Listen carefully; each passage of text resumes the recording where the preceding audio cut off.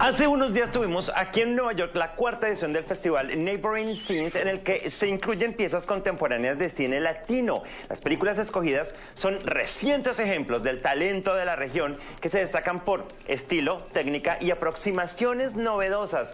Esta muestra es presentada por la Sociedad Fílmica del Centro Lincoln y Cinema Tropical una de las organizaciones pioneras en la difusión del cine latino aquí en los Estados Unidos. Uno de los films incluidos en la muestra fue Nona, Si me mojan, yo los quemo, de Camila José Donoce, que es eh, fruto de la cooperación de Chile, Brasil, Francia y Corea. En Nona, la realizadora chilena mezcla formato digital, video y 16 milímetros para dibujar a su ambivalente sujeto que es su abuela Josefina Ramírez. Ella tiene 66 años, vive sola y se está recuperando de una operación de cataratas. Un incendio se propaga en la región sur del país y ello genera agitación en el pueblo.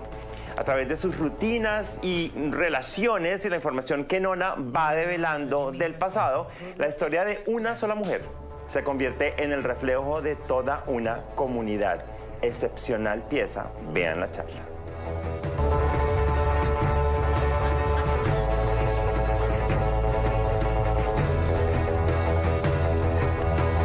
Bueno, muy, muy contenta, fue una sorpresa, tercera vez que estoy en el Lincoln Center presentando una película, así que es genial poder volver y presentar esta película que, que es mucho más íntima, mucho más personal.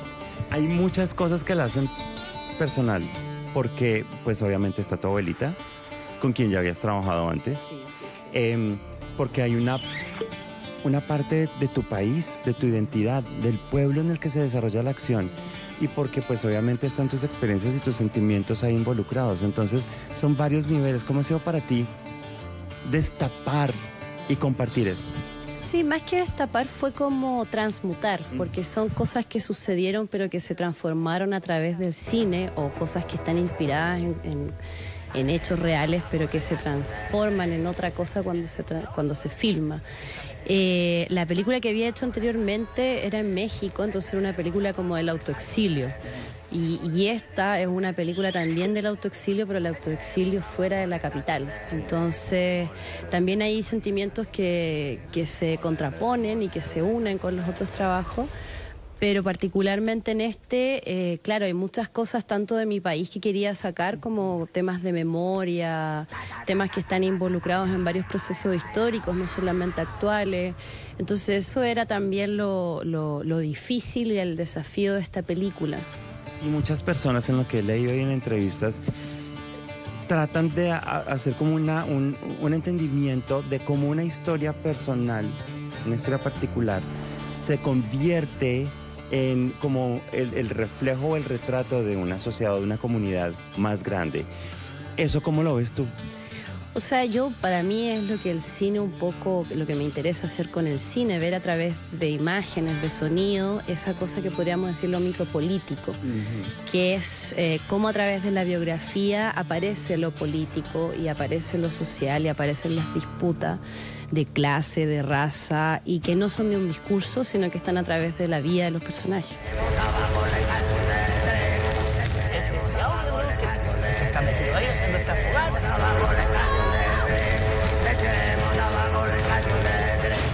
Mira, la verdad es que en el caso de esta película el guion y lo que se filmó están bien de la mano porque como conozco tan bien a mi personaje y a los personajes con los que trabajo, también el guion es mucho el retrato de la propia palabra de ellos, casi como una transcripción de las cosas que ellos dicen y ellas dicen. Entonces yo creo que son bien hermanos el guion y la película eh, pero obviamente hay cosas que, salen en el rodaje que son los que uno tiene que capturar y que tiene que, digamos, para mí el talento también de hacer una película es poder armar una atmósfera que te permita descubrir otras cosas que quizás en la hoja o en la investigación eh, no están. Y eso sí sucedió también. Es que lo pregunto sobre todo, claro, en ese sentido, pero también porque hay muchas imágenes que se hacen especialmente ricas y que siento que era imposible que estuvieran escritas, sino que tú estabas en el lugar, viste algo, viste cómo se mueve el fuego o cosas así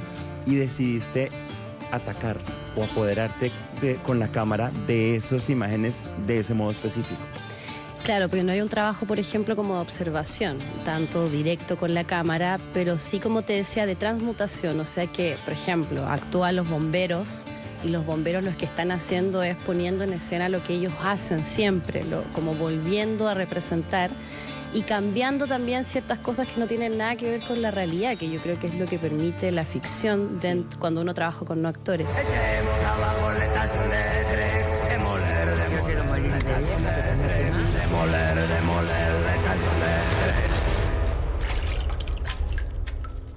Según tengo entendido, el estreno mundial de este film fue en Europa, no en tu país. Sí. Eso, eso, ¿por qué pasa así? ¿Y cómo te sientes cuando estás siendo como embajadora en otro lugar? Mira, ya los hemos hecho, entonces, claro, uno se puede sentir mal, pero también es una gran oportunidad porque la película se estrenó en Rotterdam, en, la competencia TAI, que es una de las más importantes.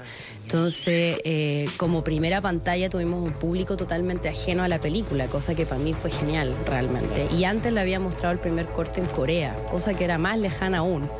Entonces yo creo que esas cosas universales que uno puede encontrar son interesantes, pero también esas distancias que la gente, hay cosas que no entiende sencillamente, porque son muy también desde lo latinoamericano, desde lo chileno y desde el pueblo que filmé también. Las especulaciones porque nadie sabe. Nadie sabe lo que pasó aquí. ¿Cómo, cómo, no, cómo tanto incendio? Claro. ¿Qué los provoca?